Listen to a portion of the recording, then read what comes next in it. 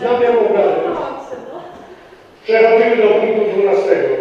Podjęcie uchwały zmieniającej uchwałę w sprawie przyjęcia wieloletniej prognozy finansowej Gminy Miejskiej Kamienna Góra. Proszę o przedstawienie projektu uchwały przez skarbnika miasta Iwonę Pazgan. Czy mamy łączenie z panią? Mamy. Jest to projekt burmistrza miasta zmieniający uchwałę w sprawie przyjęcia wieloletniej prognozy finansowej Gminy Miejskiej Kamienna Góra.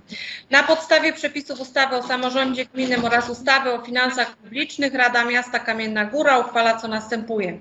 Paragraf pierwszy. W uchwale nr 19 łamane na 110 na 19 Rady Miasta Kamienna Góra z dnia 27 grudnia 2019 roku w sprawie przyjęcia wieloletniej prognozy finansowej Gminy Miejskiej Kamienna Góra ze zmianami wprowadza się następujące zmiany. Zmienia się załącznik numer 1, który otrzymuje brzmienie jak załącznik numer 1 do niniejszej uchwały. Zmienia się załącznik numer 2, który otrzymuje brzmienie jak załącznik numer 2 do niniejszej uchwały. Paragraf drugi projektu. Pozostałe zapisy wyżej uchwały pozostają bez zmian. Paragraf trzeci. Wykonanie uchwały powierza się burmistrzowi miasta Kamienna Góra. Paragraf czwarty. Uchwała wchodzi w życie z dniem podjęcia. Projekt omawiany był na wszystkich posiedzeniach stałych Komisji Rady Miasta. Uzyskiwał pozytywne opinie. Dziękuję. Czy ktoś z Państwa radnych ma pytania bądź uwagi do przedstawionego projektu? Nie widzę. Przechodzimy do głosowania. Kto z Pań i Panów Radnych jest za przyjęciem przedmiotowej uchwały? Proszę o naciśnięcie przycisku. Kto jest przeciw? Kto się wstrzymał?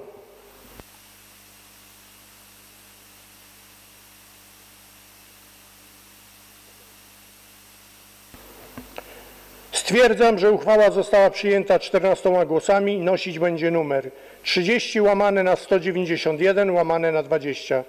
Przechodzimy do punktu 13. Podjęcie uchwały w sprawie zmian w budżecie miasta Kamienna Góra na rok 2020.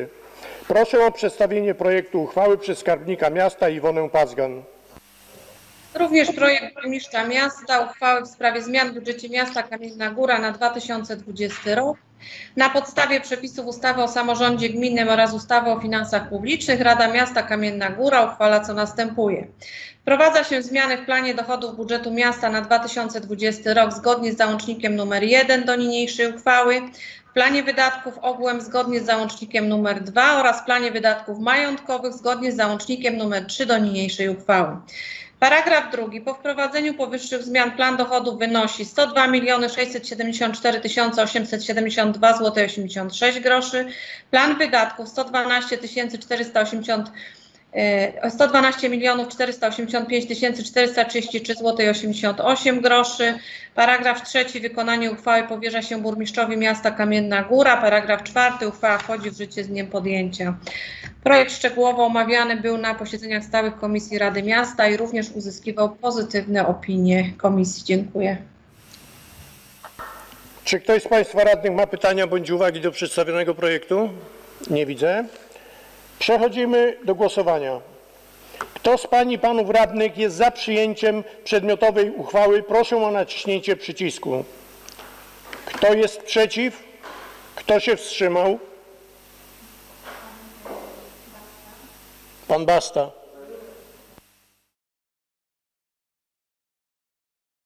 Przepraszam. Stwierdzam, że uchwała została przyjęta i nosić będzie numer 30 łamane na 192 łamane na 20. Dobrze. Przechodzimy do punktu 14. Interpelacje i zapytania. Czy ktoś z radnych chce przedstawić jakieś interpelacje bądź zapytania? Proszę Panie Łukaszu.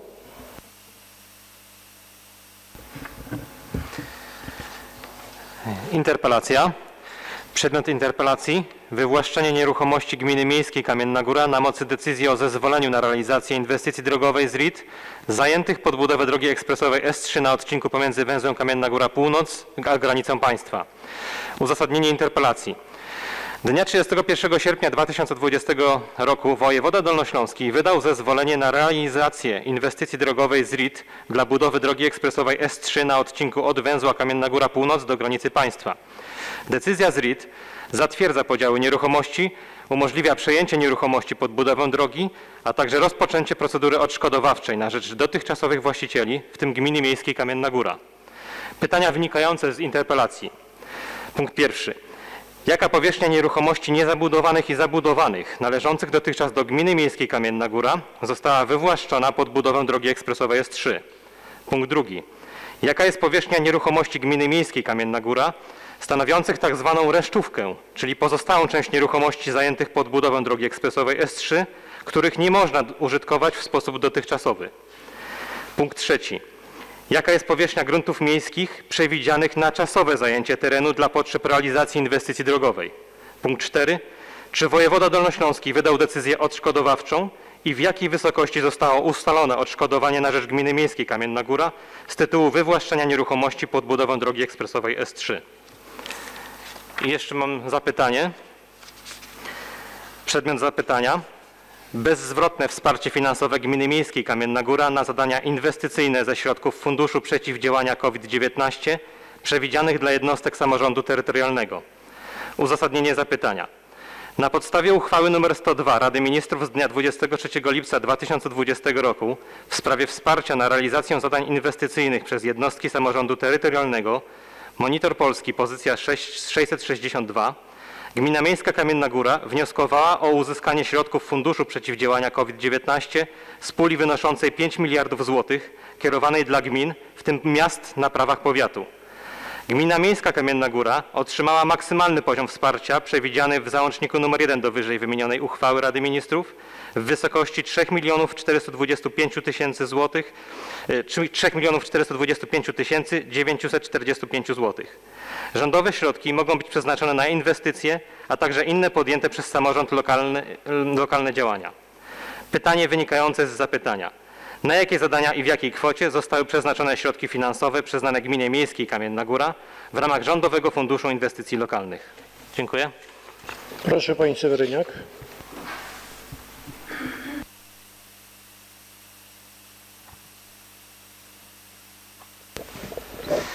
E, Interpelacja w sprawie programu Pracuję, spłacam długi, pomagam sobie innym dotyczących odpracowania zaległości czynszowych oraz. Proszę bliżej mi- do mikrofonu, dobrze? E, Powtórzyć? Mhm. E, oraz w sprawie ustawienia kontenerów mieszkalnych dla osób niepłacących czynszów, które są zdrowe i nie chcą płacić ani odpracować czynsz. Uzasadnienie. Według stanu na dzień 30 września e, tego roku zadłużenia czynszowe mieszkańców względem miasta wynoszą 2 742 195 zł 78 groszy. W tym zaległości czynszowe, które jeszcze nie są w sądzie, e, 660 tysięcy, zaległości dochodzone przed, sąd, e, przed sądem to jest 450 tysięcy, e, zaległości zasądzone znajdujące się u komornika lub w trakcie przekazywania do komornika to jest 1 600 tysięcy, e, milion 600 tysięcy powiedzmy. Około 1200 mieszkańców regularnie nie płaci czynszu. To jest z informacji dzisiaj, rozmawiałam też z panią księgową.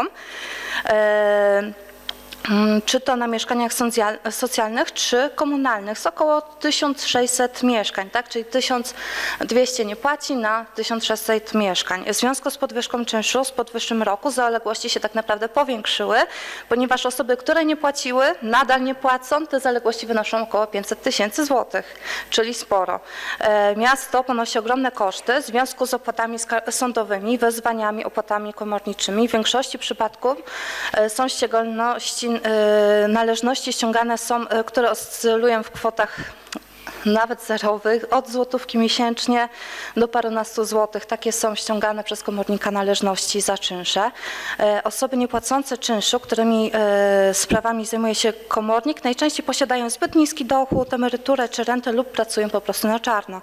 E, Osoby niepłacą, niepłacące czynszu komunalnego mm, mają wyroki eksmisyjne do mieszkań socjalnych, w których nadal nie płacą czynszu, a dostają jeszcze mieszkanie tak naprawdę po remoncie.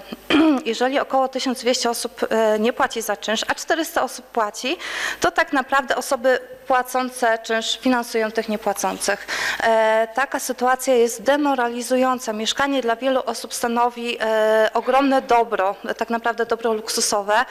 Wiele osób nie stać na własne mieszkanie lub biorą ogromne kredyty e, na praktycznie całe życie. Czy tak nadal ma to wyglądać? Bardzo dużo ludzi nie pracuje z różnych względów, oczywiście zdrowotnych, z przyzwyczajenia z powodu nałogów. Są to najczęściej osoby zdrowe, te, które nie płacą czynszu, sprawne, które po prostu nie widzą sensu wpłacenia czynszu, bo i tak mają duże zaległości. I, I te zadłużenia y, nie są y, dla nich do spłacenia. Osoby te wiedzą, że nie płacąc czynsz mogą jedynie trafić do mieszkania socjalnego. E, Rozmawiałam z kierowniczką zakładu y, komunalnego PGM w Chorzowie, która od lat realizuje program Praca za czynsz.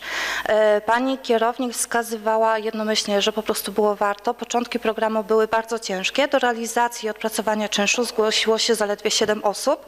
E, To bardzo mało jak na takie ogromne miasto na Śląsku, jednak nie poddawano się, a z czasem prac, e, program Praca za czynsz zyskał na popularności, a w szczytowym momencie przedsięwzięcie zaangażowało się aż 111 lokatorów. Każdego dnia zaległości wobec PGN odpracowywało wówczas około 50 mieszkańców. Jego uczestnicy odpracowali łącznie e, prawie 2 miliony złotych.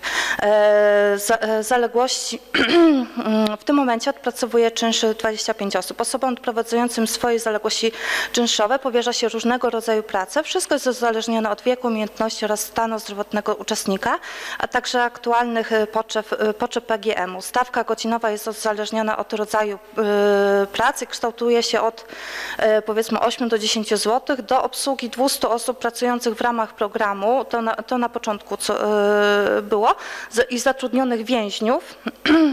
Są wydelegowane trzy osoby. Na podstawie przykładu dobrego przykładu z Chorzowa, gdzie pani kierownik się nie poddała i walczyła o program, bardzo dużo ludzi wyniosło nie tylko e, spokój spowodowany mniejszymi zaległościami czynszowych, bardzo dużo osób zyskało nową nadzieję i zaczęło pracować i spłacać swoje, swoje zadłużenia. Dodatkowo program zaktywizował osoby długotrwale bezrobotne, które uwierzyły po prostu we własne siły. W naszym mieście do poprzedniego roku również była możliwość odpracowywania tych czynszów. Czynsze odpracowywało parę osób, a kwota odpracowania, e, odpracowanego czynszu była na poziomie od 2 do 5 tysięcy złotych miesięcznie, czyli nawet z informacji, jakie podjęłam e, spółce mieszkaniowej, jedynym motywem rezygnacji z, po, z programu był problem samoubezpieczenia e, się mieszkańców odprowadzających czynsz, ponieważ może się zdarzyć e, zawsze jakiś wypadek przy pracy, to jest wiadome. Dlatego e, zaproponuję później inne rozwiązanie tego problemu. Chciałabym zmobilizować naszych mieszkańców do płacenia swoich zaległości, bo przecież za prawie 3 miliony złotych jesteśmy w stanie zbudować tak naprawdę budynek mieszkalny dla rodzin, e, co jest e, tutaj u nas bardzo potrzebne. E, Chciałabym, aby program zaktywizował ludzi do pracy, spowodował mniejsze zadłużenia czynszowe, spowodował, żeby także w naszym mieście zrobiło się czysto, co niestety teraz nie, nie widać. Komisja rewizyjna zaproponowała zakup kontenerów mieszkalnych, które będą po prostu straszakiem dla tych osób, które nie płacą czynszów od lat i mimo dobrego stanu i nie chcą nawet odpracowywać tych czynszów. Wzorując się na bardzo dobrym przykładzie z Chorzowa, chciałabym zaproponować program aktywizujący, zwiększający spłatę zaległości czynszowych o nazwie Pracuję, spłacam długi, długi, pomagam sobie innych. Celem programu jest nie tylko to, aby dać możliwość odpracowania swoich zobowiązań. Chciałabym, żeby ten program również pomógł tym ludziom, ponieważ osoby odpracowujące czynsz muszą także widzieć w tym sens i muszą widzieć rezultaty swojej pracy. Kwota za godzinę powinna być dość wysoka. Kwota za godzinę pracy byłaby uzależniona od rodzaju wykonywanej pracy. Proponuję e, kwotę e, powiedzmy od 20 zł za godzinę. W tej kwocie byłaby także zawarte ubezpieczenie od nieszczęśliwych wypadków pracujących mieszkańców. E, Prace, które mogą Przepraszam, wykonywać... pani radna, bardzo bym prosił do tych trzech minut się stosować. Już za chwilkę. Dobrze. Już kończę. E, Prace, które mogą wykonywać osoby odpracowujące czynsz, to na przykład prace społeczno-użyteczne, sprzątanie terenów miejskich, zalewów w sobotę i w niedzielę, sprzątanie ulic, sadzenie, pielenie kwiatków, e, utrzymanie ścieżki rowerowej, na przykład pokos traw, e, sprzątanie tej ścieżki, sprzątanie nawet klatek schodowych i podwórka, utrzymywanie zimowe, odśnieżanie, sypanie piasku na chodnikach, sprzątanie cmentarza, prace porządkowe, malarskie, roznoszenie poczny, opróżnienie pos- pustostanów, prace malarskie, także tych prac jest dużo, które mogą wykonać mieszkańcy odpracowując ten czynsz. Dziękuję. Dziękuję. Pani przewodnicząca Majak, proszę. Interpelacja. Komisja Budżetu, Strategii i Rozwoju Rady Miasta Kamienna Góra. Przedmiot, y, temat interpelacji. Możliwość sprzedaży nieruchomości stanowiącej własność Gminy Miejskiej Kamienna Góra, działka nr 222, ob- obręb nr 5 Miasta Kamienna Góra oraz kupno przez gminę miejską nieruchomości będącą własnością osoby fizycznej działka nr 217 przez 2 obręb nr 6 miasta Kamienna Góra. Wniosek wynika z konieczności pozyskania obszarów pod budownictwo mieszkaniowe wielorodzinne.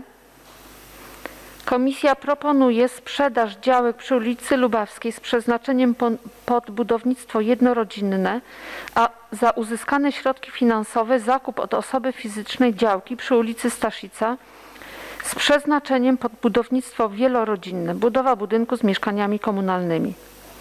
Pytanie wynikające z interpelacji. Czy możliwa jest sprzedaż wyżej wymienionych działek i kupno działki przy ulicy Staszica pod budowę budynku mieszkalnego wielorodzinnego przy ulicy i tym samym częściowe zaspokojenie potrzeb mieszkaniowych? Informacje o dotychczasowych próbach i sposobach załatwiania interpelacji sprawy. Podczas 20 sesji Rady Miasta Kamiennej Góry w dniu 29 stycznia 2020 roku Rada Miasta podjęła uchwały numer 20 łamane na 113 łamane na 20 o zamianie wyżej wymienionych nieruchomości.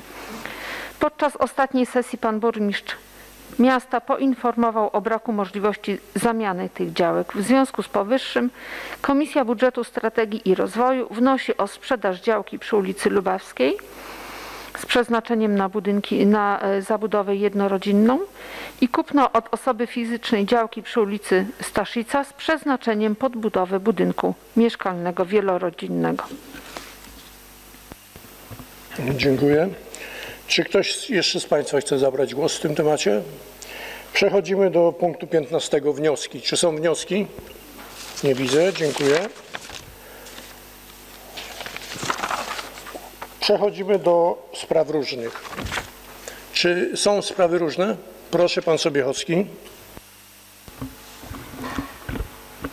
Chciałbym poruszyć jedną sprawę, którą tutaj już omawialiśmy podczas wcześniejszych sesji, a mianowicie chodzi o wyremontowane dwa budynki na Placu Wolności. To jest budynek numer 12 i budynek numer 16. Jak Państwo pamiętają, były one e, remontowane ze środków unijnych i my mieliśmy tam swój wkład własny i ogólna kwota tego remontu wyniosła ponad milion złotych, tam chyba milion złotych i 50 tysięcy.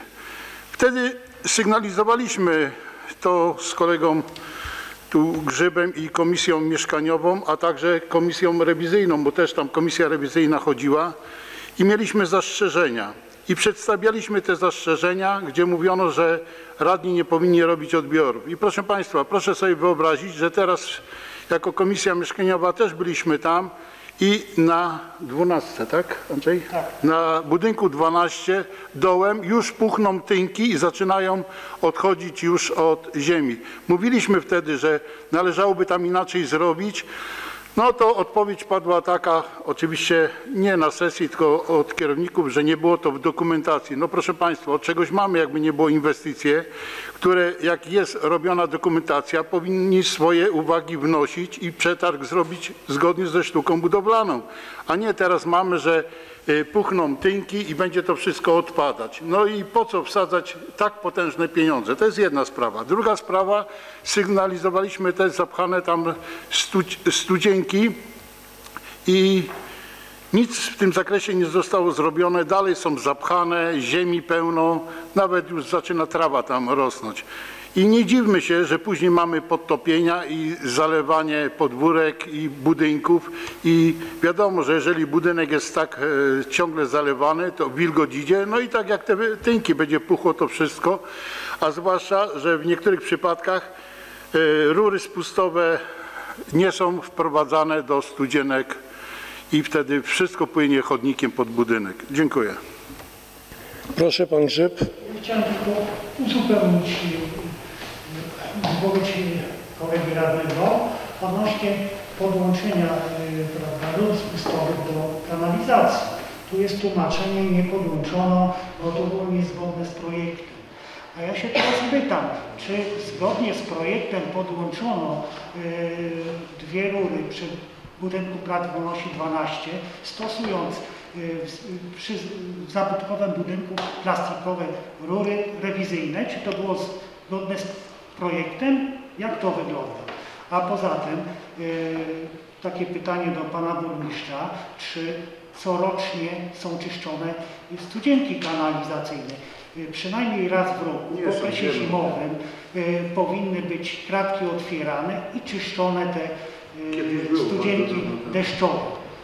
A ja stwierdzam że teraz, że tego się chyba nie robi, bo w rynku są zapchane gruzem i śmieciami studzienki aż do kratki y, ściekowej. Nic dziwnego, że też te rury ze wspomnianych budynków 12 i 16 nie były podłączone, ponieważ nie były, y, te studzienki nie odbierałyby tej wody opadowej. Dziękuję. Odnośnie rzecznika miasta. E, Przeczytałem sobie protokół z kontroli Izby Obrachunkowej i tam wynika, że umowa zawarta na świadczenie usług przez tego pana została e, zawarta z naruszeniem prawa, to znaczy ustawy o zamówieniach publicznych. I y, były to usługi związane y, między innymi y, z kształtowaniem i realizowaniem polityki informacyjnej miasta Kamienna Góra, a także kształtowaniem pozytywnego wizerunku władz miasta w mass mediach. I teraz y, Regionalna Izba Obrach- Obrachunkowa w protokole pisze, że y, naruszono postanowienia paragrafu 4 ustęp 4 regu- regulaminu udzielania zamówień publicznych o wartości nieprzekroczącej równowartości kwoty 30 tysięcy euro y, wprowadzonego zarządzeniem burmistrza y, z- z dnia tego i tego. Wykonawca usługi został wybrany przez skierowanie przez burmistrza w dniu 5 listopada 2019 zapytania ofertowego tylko do jednej firmy, która w tym samym dniu złożyła ofertę wykonania usługi z kwotą za jej świadczenie 5500 zł miesięcznie. Mam wątpliwości, czy umowa zawarta przez gminę z rzecznikiem jest ważna. Dziękuję. Proszę Pani Kręta. Panie burmistrzu, ja bym chciała zapytać, y, zadać takie pytanie. Pytałam pana na ostatniej sesji w kwestii oświetlenia przy Centrum Kultury, tam od parkingu. Y, Jestem po rozmowie też z Iwem z y, klubu Relax. Tam są zamontowane kamery, tam jest ciemno, że tak powiem, jak y, ciemności egipskie. Te kamery właściwie no, nie wychwycą tego, co tam się dzieje, mówi. On to, y, już jest rynna wgnieciona tam na jego budynku. Ludzie po prostu nie szanują tego, co dla nich zostało zrobione i bym bardzo prosiła, żeby może jakoś to światło, jakąś lampę tam, mm, to już by może wydział się tym zajął. A druga rzecz, chciałam zapytać, też pytałam już pana, bo w, y, o ulicę Fabryczną tam miał być ogłoszony przetarg na wykonanie tej drogi. Czy w tej kwestii coś pan y, ma jakąś wiedzę? Dziękuję. Czy ktoś z Państwa, proszę Pan Sobiechowski. Ja mam taką prośbę gorącą do pana burmistrza, żeby zastanowił się, co zrobić z tymi dwoma mieszkaniami, które są przy Placu Wolności. Jedno ma ponad 90 metrów. My jako komisja wnioskowaliśmy, żeby to zrobić dwa mieszkania z tego, bo ludzi jest potrzebujących. I drugie mieszkanie jest na budynku numer 16, ponad 100 metrów. Bo powiem szczerze, żeby te mieszkania stały tak długo, a mieszkańcy nie mieli swojego lokum, to aż serce się kraje, jak się patrzy na taką sytuację. Zwłaszcza, że w 16 jest jeszcze tam ogrzewanie sieci miejskiej. Następna sprawa, to Panie Burmistrzu, rozmawialiśmy odnośnie załatwiania spraw przez spółkę na ostatniej sesji tej nadzwyczajnej. I chodziło, że niektóre sprawy sygnalizujemy bardzo pilne do spółki i mija prawie rok czasu i powiem szczerze, jesteśmy na początku tej drogi, bo nic w tym zakresie się nie dzieje. Chodzi mi tam o ptasią, to co rozmawialiśmy, chodzi mi o Antonówkę. Na Antonówce jeszcze taka sytuacja, że pani ma czwórkę dzieci, w tym jedno niepełnosprawne. Tam wylało, proszę wyobrazić sobie, że cofka nastąpiła z rur kanalizacyjnych, zalało fekaliami jej mieszkanie i tam technik nawet nie byli na miejscu nic i napisali, że nic się nie stało, a odszkodowanie się nie należy, bo to wilgoć spowodowała, że tam spuchło. Mija już ponad pół roku, ta pani dalej nic nie ma zrobione, odszkodowania też nie dostała. Fakt, tu postarał się pan kierownik y, spółki mieszkaniowej, pisał y, pismo odwoławcze, ale do dzisiaj nie ma żadnego widu ani słychu. Ale do czego zmierzam?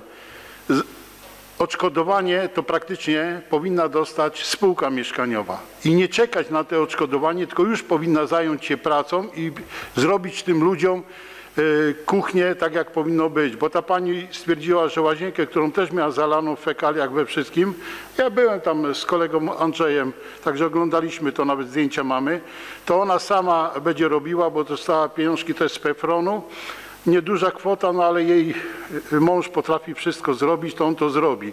Ale kuchni powiedziała, że nie jest w stanie z tego względu, że tam trzeba y, coś z piecem centralnego ogrzewania, a nie wszystko jednak można samemu zrobić. I mam taką prośbę, żeby jednak przyspieszyć tą sprawę, no bo ja już powiem szczerze, nie mam sił do spółki, bo już chyba z 15 razy informowałem, a nie powiem ile razy dzwoniłem, ale to nic nie daje.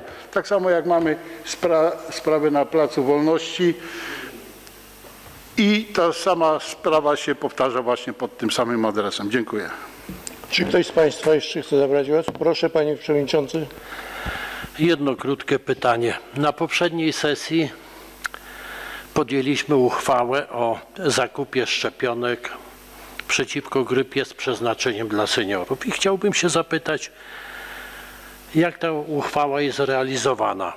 Czy złożono jakiekolwiek zamówienie i czy jesteśmy w ogóle w stanie pozyskać te szczepionki? Dziękuję Panie Przewodniczący. Radny Sławiński, proszę.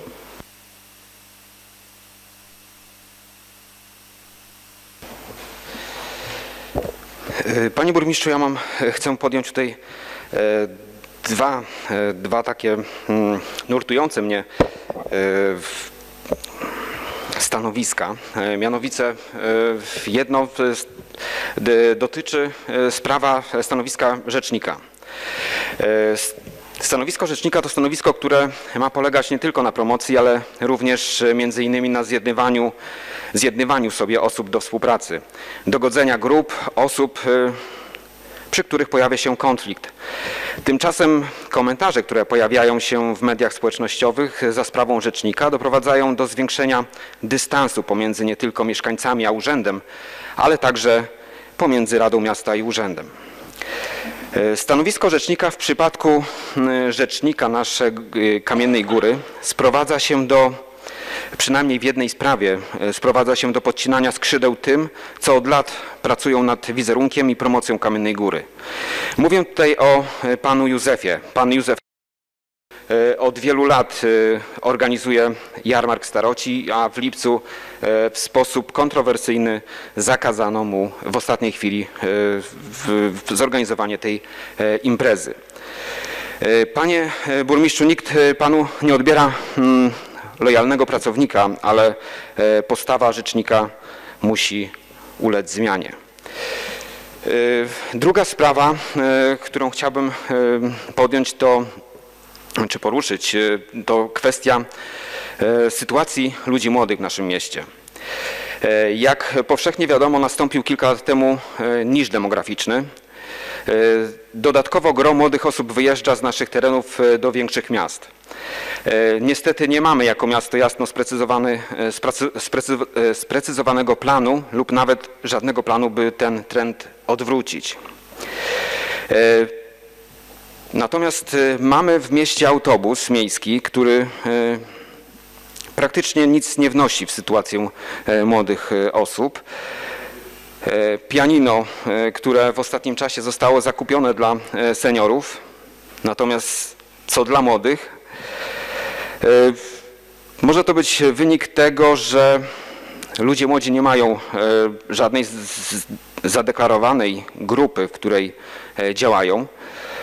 E, W związku z tym e, chciałbym zainicjować i e, przy, przygotować projekt uchwały powołującą Młodzieżową Radę Miasta. Będzie to tak zwane ciało doradcze dla nas radnych, w jakim kierunku należy działać, by przeciwdziałać odpływowi ludzi młodych z naszego miasta. E, Do współpracy e, chciałbym również zaprosić tutaj e, pana przewodniczącego, pana Janusza Jarosza. Mam nadzieję, że biorąc pod uwagę doświadczenia w, z poprzednich lat. Mam nadzieję, że pan Janusz się zgodzi. Także w najbliższym czasie taki projekt z panem Januszem przedstawimy. Dziękuję bardzo. Czy ktoś z Państwa... Y, Ja proponuję, bo muszę to zrobić, y, Panie Radny. Pięć minut przerwy, to będzie ostatnia przerwa i będziemy zbliżać się ku końcowi, dobrze? Dziękuję.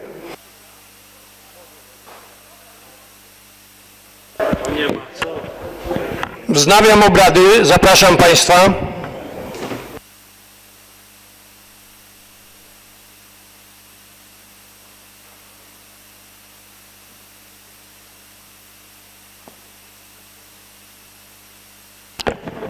Panie Łukaszu, chciał Pan zabrać głos.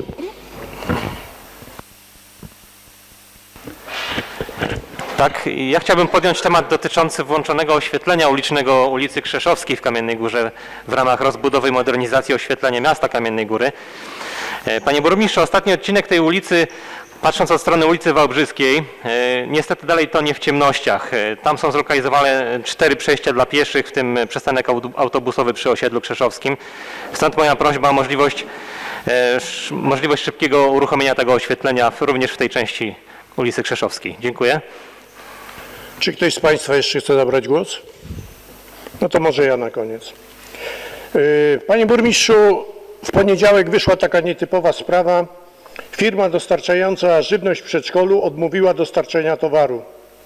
Yy, Ze względu na to, że w ciągu 40 dni nie były zapłacone poprzednie faktury. Yy, Mam w związku z tym pytanie, jakie mamy zaległości w płaceniu takich faktur? Przecież to są bardzo poważne rzeczy.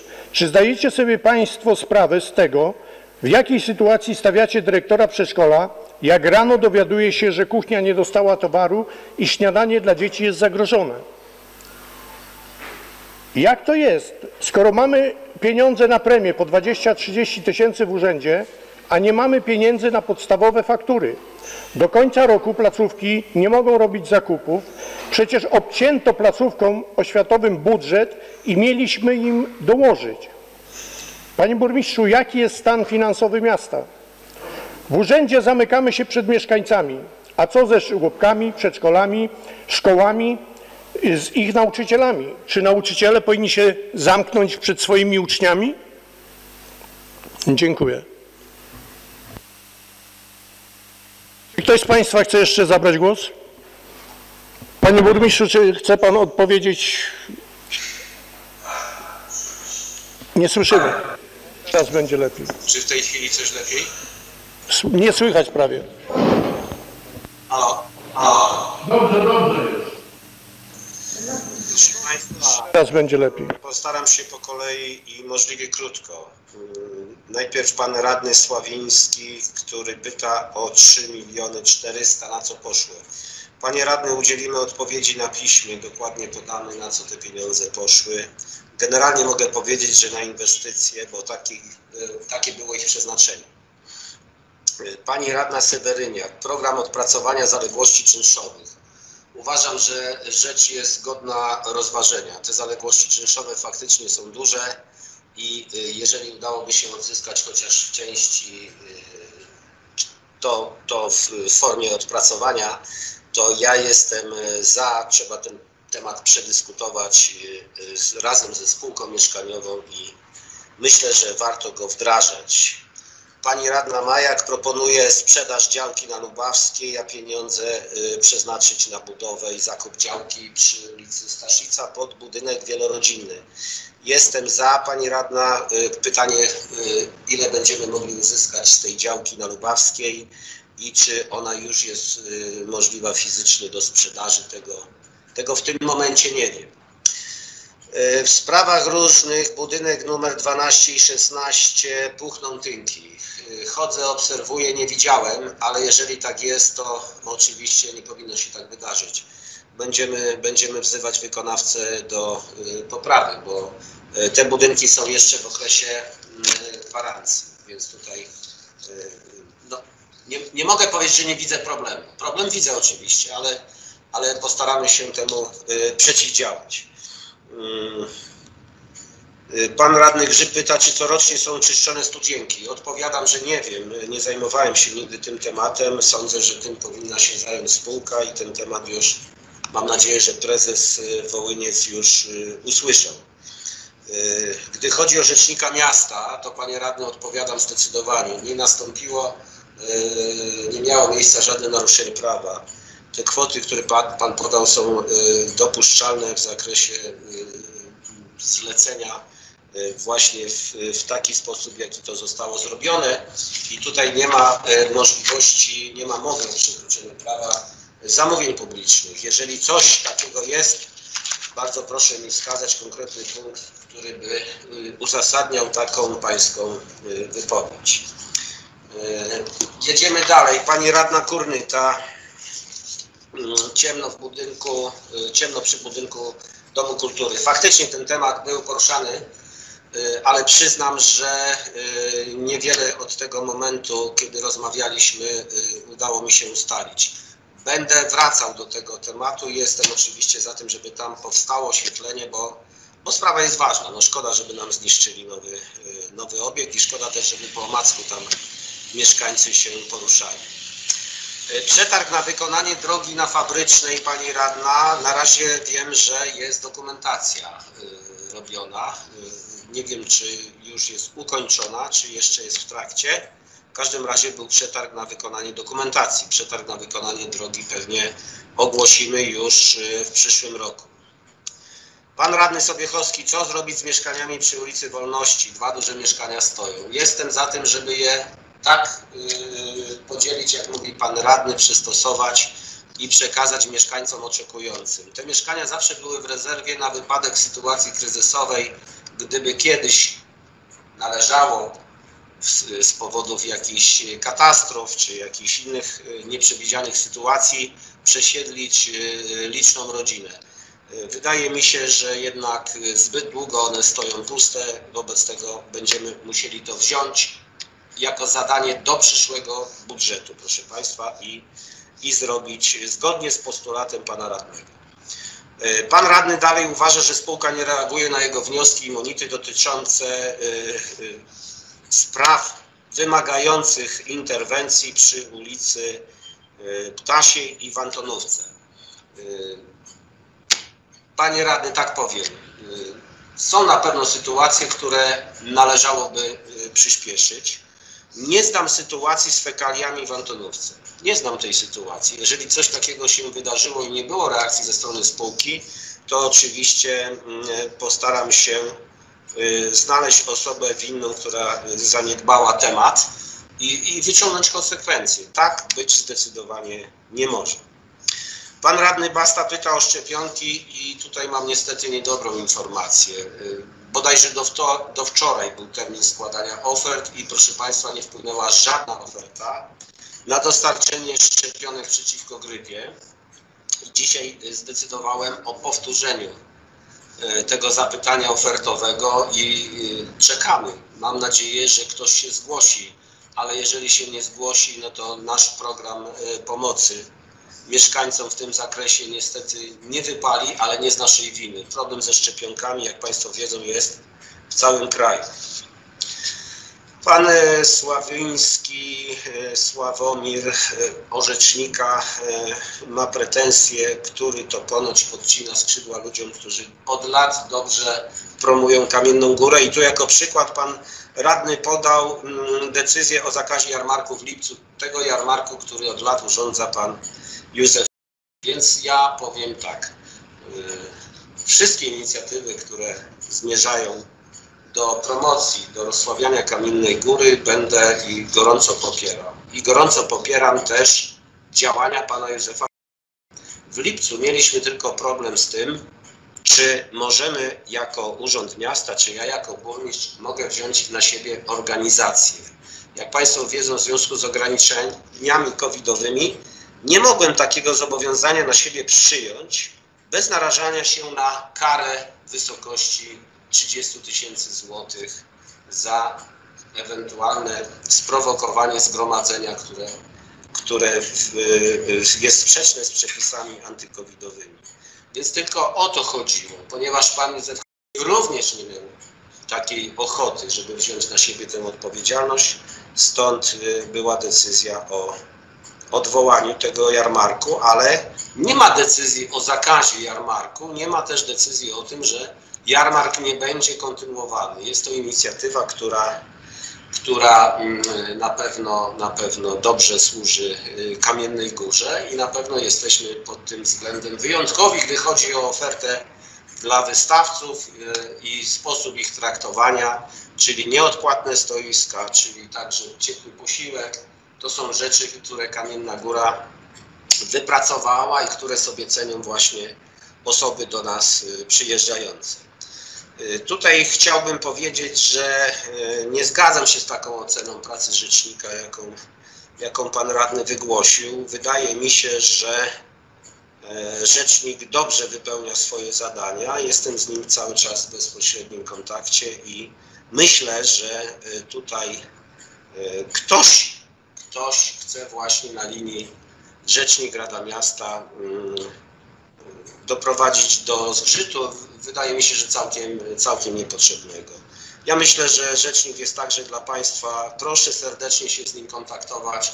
Proszę podsyłać mu swoje propozycje, swoje wnioski i, i, i proszę też wymagać, y, żeby je realizował w tych ramach, które należą do y, jego obowiązków. No duży problem pan radny Sławiński y, poruszył, czyli y, ucieczki młodych y, z miasta. Jest to problem, z którym się borykamy jako miasto od lat. Ucieczka młodych, depopulacja Kamiennej Góry, zmniejszanie się liczby mieszkańców. Proszę Państwa, to jest podstawowy problem Kamiennej Góry. O tym też mówiliśmy na jednej z ostatnich sesji podczas y, analizy raportu o stanie y, miasta i w tym momencie, panie radny, no nie ma prostej recepty na to, żeby tych młodych zatrzymać.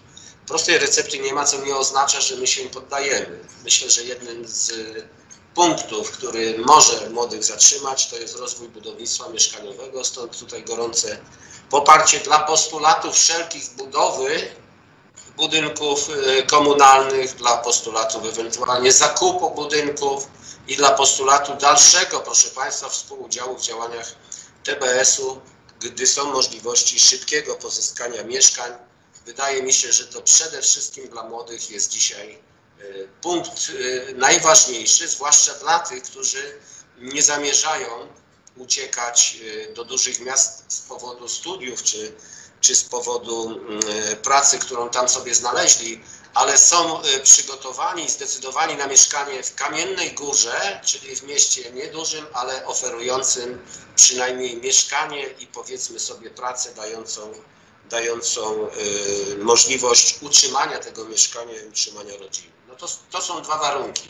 Co do mieszkań, to już wiemy, w którym kierunku pójdziemy i na pewno zaczniemy projektowanie budynku albo na Staszica, gdy uda się te działki sprzedać, albo budynku, proszę Państwa, na, e, w miejscu budynku przy ulicy Wojska Polskiego e, 25, który to budynek jest do wyburzenia i o którym już też Państwu mówiłem wielokrotnie, więc co do mieszkań mamy kierunek ustalony. Co do miejsc pracy, to wspólnie ze strefą pracujemy nad tym, żeby zabrać krajowej Krajowemu Ośrodkowi Wsparcia Rolnictwa tereny, które mogłyby być przeznaczone pod inwestycje właśnie e, w obszarze naszego miasta, które mogłyby e, spowodować e, wykorzystanie siły roboczej tych młodych, nie tylko młodych mieszkańców, którzy decydują się na mieszkanie w Kamiennej Górze i z Kamienną Górą wiążą swoją przyszłość.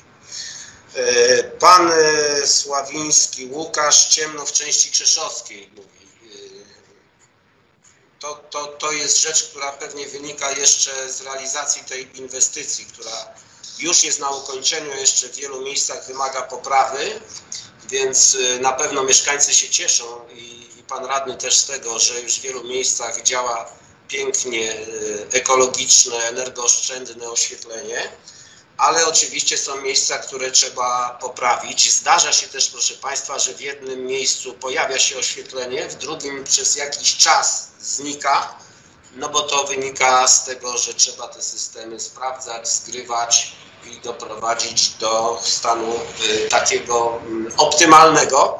Y, Wydaje mi się, że zakończymy to wszystko do końca, do końca stycznia. Niestety y, nie udało nam się uzyskać dofinansowania na doświetlenie miejsc y, przejść dla pieszych w mieście. My wystąpiliśmy z wnioskiem na kilkaset y, tysięcy złotych o dofinansowanie właśnie takiego zadania. Niestety nie dostaniemy tych pieniędzy, wobec tego będziemy musieli w ramach budżetu własnego szczególnie newralgiczne miejsca doświetlać. Z tego co pamiętam, to dwa lub trzy y, miejsca również doświetli wykonawca tego zadania, o którym teraz mówię. I to będzie w ramach tej umowy, która nas y, z tym wykonawcą wiąże. Pan radny y, Jarosz, pan przewodniczący poruszył temat bulwersujący. Nie dojechała żywność do przedszkola. Jutro, jutro Jutro wyciągam konsekwencje wobec osób, które do tego doprowadziły. Od rana zajmuję się tym i przyznam, że jestem y, w szoku. Y, Z tym wiąże się pytanie o stan finansów miasta, więc y, wydaje mi się, że to nie stan finansów miasta spowodował takie opóźnienie, ale dzisiaj nie chcę mówić o przyczynach, muszę je po prostu wyjaśnić. Mam nadzieję, że takie sytuacje się już nie powtórzą, natomiast gdy chodzi o stan finansów, y, przekażemy informacje na piśmie do następnej sesji. Y, W związku z tym padło pytanie, dlaczego tak się dzieje, a są nagrody dla urzędników. Y, Nie pamiętam, kiedy były ostatnie nagrody dla urzędników, ale to nie wynika z mojej krótkiej pamięci, ale, ale po prostu nie przypominam sobie w tym roku takich nagród. Jeśli, jeśli takie były, y, również, y, również jestem w stanie pokazać, jakie to były kwoty, ale oczywiście nie ma mowy o nagrodach teraz, gdy są trudności w zapłacie, y, w zapłacie faktur bieżących, chociażby w takich sytuacjach, o jakich wspomniał Pan, pan Przewodniczący. Więc y, mówię, wyjaśnię to i postaram się wyciągnąć konsekwencje wobec osób, które do takiej sytuacji dopuściły. I na końcu, jeśli Państwo pozwolą, jeszcze jedna mm, niedobra niestety informacja. Przed chwilą otrzymałem y, właśnie informację o sytuacji epidemiologicznej na terenie miasta Kamienna Góra. Proszę Państwa, mamy y, już 118 osób, które zachorowały od początku epidemii, a dzisiaj jest to 75 aktywnych y, zachorowań i mamy 170 osób objętych kwarantanną, e, więc to są już liczby duże. W powiecie oczywiście większe, ale dzisiaj na naszej sesji mówimy o mieście. Wobec tego jeszcze raz gorący apel do Państwa, z którym zwracałem się na początku sesji. Pamiętajmy wszyscy o ograniczeniach wynikających z obostrzeń epidemiologicznych. Pamiętajmy o tym, że musimy być odpowiedzialni nie tylko za siebie, ale także za współmieszkańców, za naszych znajomych, sąsiadów, rodziny. Wobec tego bardzo proszę stosować się do tych wszystkich zaleceń, które nałożył na nas y, rząd. Y, Myślę, że to teraz na gorąco tyle y, w sprawie Państwa wniosków i zapytań, a te rzeczy, które były przedmiotem interpelacji, oczywiście na piśmie do następnej sesji Państwu przekażemy. Dziękuję bardzo. Proszę Panie Andrzeju.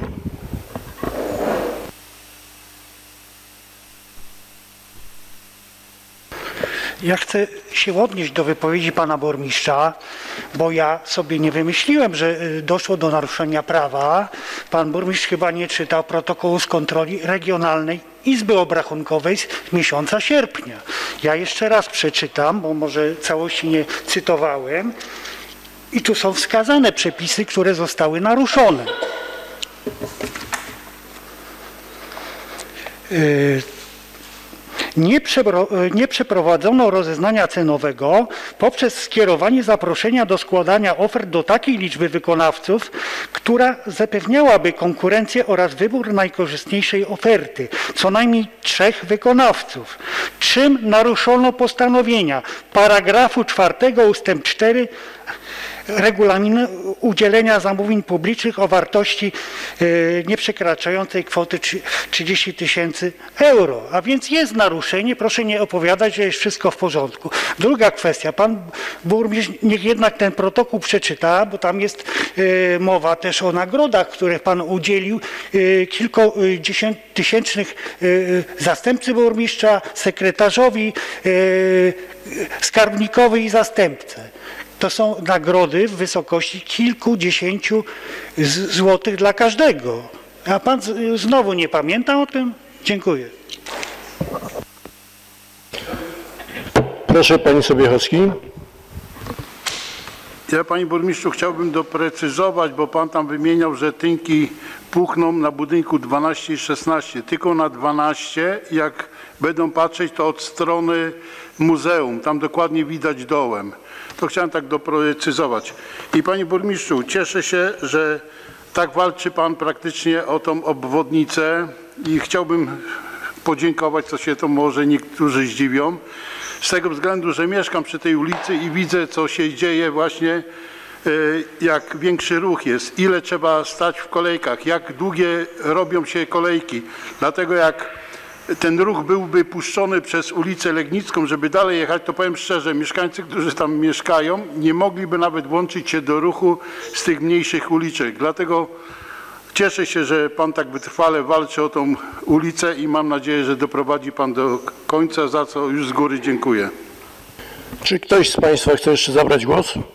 Nie- Nie widzę. Z uwagi na wyczerpanie... Pan burmistrz? No nie słyszałem. Dobra, proszę. do pana Grzyba. Panie radny Grzyb, obiecuję, że przeczytam. Natomiast pan powiedział o kilkudziesięciu tysiącach. Nie było takich nagród. Nie było nagród w wysokości kilkudziesięciu tysięcy. Nagrywają to, dodatek. Dodatek specjalny, panie. To muszę od razu sprostować. Natomiast y, zapowiadam, nie będzie żadnych nagród w tym roku i tutaj możecie mnie Państwo trzymać za słowo. Nie będzie żadnych nowych y, nagród w sytuacji, gdy nie ma na bieżąco płatności, y, o czym wspominał Pan Przewodniczący. Ale tak jak mówiłem, wyjaśniamy to na gorąco i myślę, że razem z Państwem zamkniemy ten temat szczęśliwie, gdy y, podejmiemy y, sprawę obligacji, y, z którą zwrócimy się do Państwa niebawem z projektem uchwały w sprawie obligacji, ponieważ w tej chwili jest to jedyny sposób na pozyskanie dofinansowania dla miasta w sytuacji, w której banki odmówiły nam kredytowania, stosując politykę rzekomej pomocy dla samorządów, a tak naprawdę zaostrzyły przepisy w ten sposób, że y, nie mogą samorządy uzyskać y, finansowania w postaci kredytu. Ale o tym będziemy pewnie jeszcze z Państwem rozmawiać na komisjach i będziemy szczegółowo ten temat omawiać. Liczę na Państwa tutaj współpracę, także pod tym kątem, żeby takie sytuacje, o których wspomniał Pan Przewodniczący, nie miały miejsca, ale jeszcze raz zastrzegam, to nie jest tak, że Kamienna Góra nie miała tam dwóch czy trzech tysięcy złotych. Ktoś po prostu coś zaniedbał i ja to wyjaśnię. Dziękuję. Proszę, pani Grzyb. Następny pan Sławek.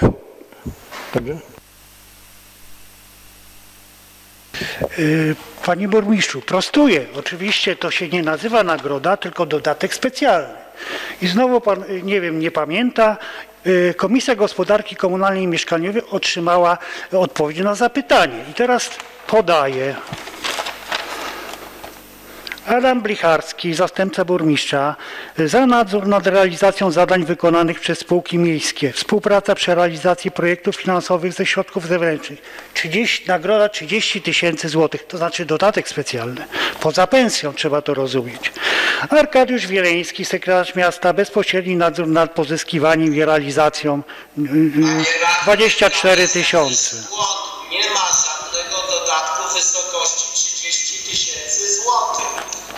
A no to ja nie rozumiem. Jaki błąd? Absolutnie proszę w to nie wierzyć. Nie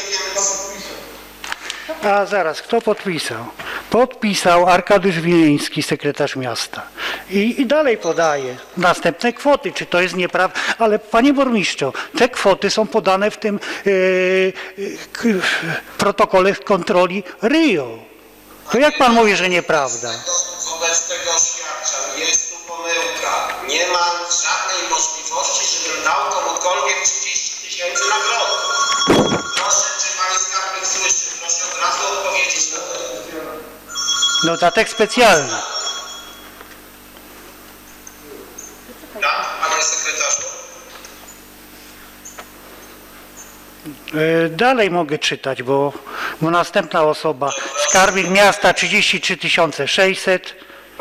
Zastępca e, skarbnika tylko 4200. To ja mam dokumenty, ja sobie nie wymyślam tego. To mówię, nie było takich dodatków.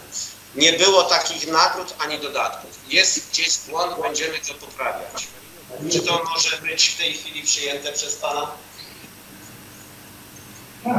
Proszę, panie Sławku.